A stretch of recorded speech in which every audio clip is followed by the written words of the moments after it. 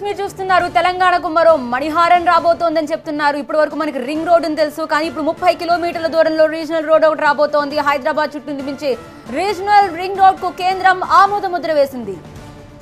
దీన్ని జాతీయ రహదారిగా ప్రకటించాలని కేంద్ర రోడ్డు రవాణా శాఖ మంత్రి గడ్కరీని కోరారు.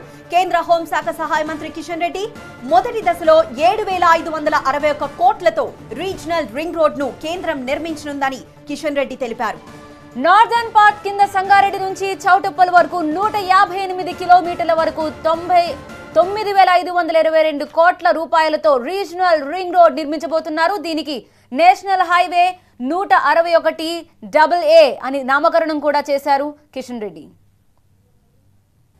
తెలంగాణ యొక్క ముఖ చిత్రాన్ని అభివృద్ధి ముఖ చిత్రాన్ని మార్చేటువంటి అపురూపమైనటువంటి ప్రాజెక్టు ఈ యొక్క regional ring road project. Northern part కింద నూట యాభై ఎనిమిది కిలోమీటర్ల రోడ్డు నిర్మాణం జరగనున్నది. ఇన్ ప్రిన్సిపల్గా కేంద్ర ప్రభుత్వం దీనికి అంగీకరించింది.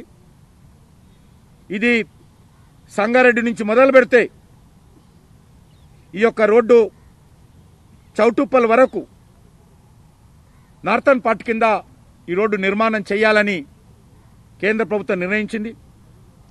దీనికి national highway one six one AA అనే నామకరణం కూడా ఈ యొక్క నార్థన్ పార్ట్కు చేశారు. ఇది సంగారెడ్డి నర్సాపూర్ తూప్రాన్ గజ్వేల్ ప్రజ్ఞాపూర్ యాదగిరిగుట్ట భువనగిరి చౌటుప్పల్ ఈ ప్రాంతాన్ని కలుపుతూ ఈ నగరాలను కలుపుతూ ఈ యొక్క regional ring road northern part కింద నిర్మాణం జరగనున్నది. ఈ యొక్క నూట యాభై ఎనిమిది కిలోమీటర్ల ఈ రోడ్డుకు ఏడు వేల ఐదు వందల అరవై ఒక్క కోట్లు సివిల్ వర్క్ కోసం కేంద్ర ప్రభుత్వము పూర్తిగా ఖర్చు పెట్టనున్నది. ఇది కాకుండా భూసేకరణ కోసము ఒక వెయ్యి నలు- తొమ్మిది వందల అరవై ఒక్క కోట్లు భూసేకరణ కోసం అదనంగా ఖర్చు కానున్నది. రీజనల్ రింగ్ రోడ్లో సదరన్ పార్ట్ కింద చౌటుప్పల్ నుంచి సంగారెడ్డి వరకు నూట ఎనభై రెండు కిలోమీటర్ల వరకు రోడ్డును నిర్మించనున్నారు.